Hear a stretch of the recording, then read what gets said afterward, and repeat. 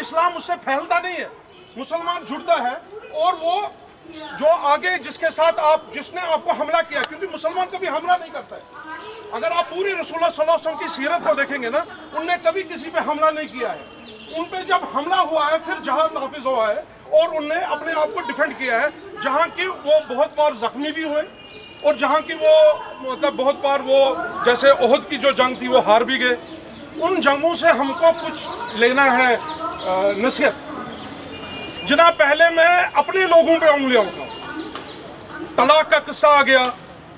عام آدمی داڑھی رکھ کے ٹی وی پہ چڑھتے ہیں۔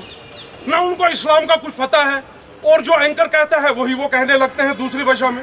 ہمارے مذہب کو بدنام کر کے رکھ لیا ہے ٹیلی ویژنوں پہ۔ یہ تو سب سے بڑی کمزوری ہے ہمارے جو یہاں ہمارے جماعت اسلامیہ ہے اور جو کوئی بھی اسلامی تنظیم ہے، وہ خاموش ہے۔ ایک بار وہ را کے چیف رہے ہیں نام نہیں یاد ہے، میں نے تو ٹی وی دیکھنا ہی بند کیا ہے۔ ان نے رسول اللہ صلی اللہ علیہ وسلم کی حضرت خیتیجہ علیہ السلام پہ انگلی اٹھائی۔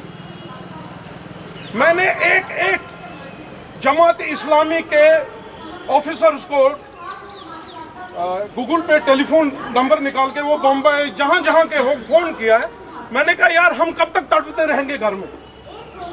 ہم کام کریں گے یا اپنے مذہب کی باتیں سن کے تڑپتے رہیں گے؟ اندر سے خون جلتا ہے۔ لیکن رسول اللہ صلی اللہ علیہ وسلم کا ہم کو سمجھایا ہے کہ دہشت نہیں کرنا۔ اسی رسول اللہ صلی اللہ علیہ وسلم کے سمجھانے کے لیے کہ دہشت نہیں کرو، اس کے لیے ابھی تک میں گھر میں بیٹھا تھا اور بیٹھا رہوں گا۔ کیوں؟ کیونکہ پھر یہ نام لگاتے ہیں آتنگوادی ہیں۔ ارے آتنگوادی کون ہے؟ آتنگوادی وہ سوچ ہے۔ جو لوگوں کے بیچ میں فرقہ بزی لگاتی ہے آتنگوادی وہ سوچ ہے، جو لوگوں کو کہتی ہے وہ ہندو ہے، یہ مسلمان ہے۔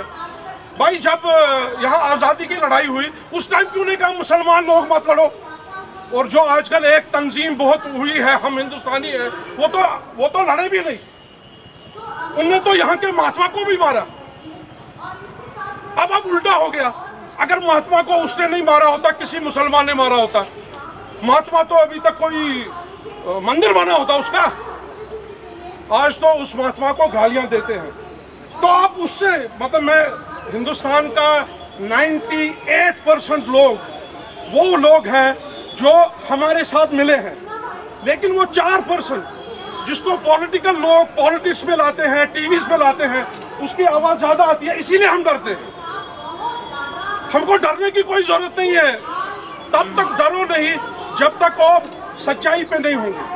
اگر آپ کو پتا آپ سچائی پہ ہیں۔ دیکھو بھائی، اخلاق کس دنیا سے گیا؟ یا امریکہ میں یا کہیں اور کوئی نان مسلم مر گیا ہے، میرا دل ہر ایک کے لیے روتا ہے کیونکہ انوسنٹ آدمی مر گیا۔ لیکن خاموشی کی بات یہ ہے کہ ہمارے لوگ کیوں چپ ہے چلو، کانگریس جو جتنے بھی نیتا ہیں، جو بھی سیکولر پارٹیاں، ان کو چھوڑ دو۔ ہمارے لوگ، ہم کامیں کیا؟ تیس کروڑ ہیں۔ تیس کروڑ ہیں ہم، تیس کروڑ۔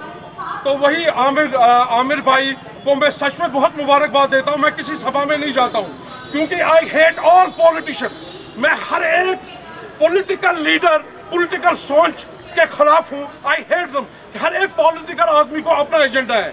عامر بھائی ایک عام آدمی ہے، اسی لیے میں یہاں آیا ہوں۔ اپنے دل سے، جذبات سے آیا ہوں۔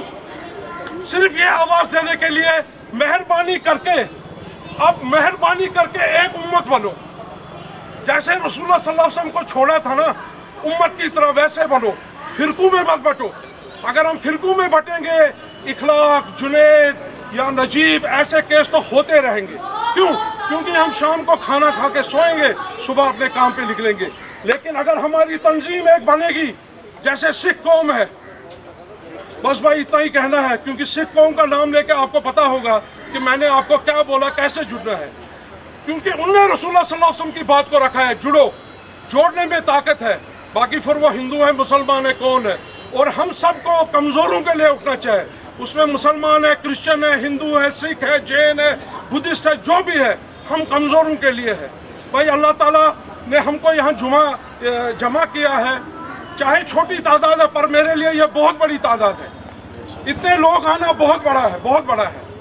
میں اللہ تعالیٰ سے دعا کرتا ہوں کہ اس تعداد کو ایک پوری مٹھی ہندوستان میں بنائے اور ہندوستان سے آواز پوری دنیا میں جائے، جہاں ایک امت بنے گی۔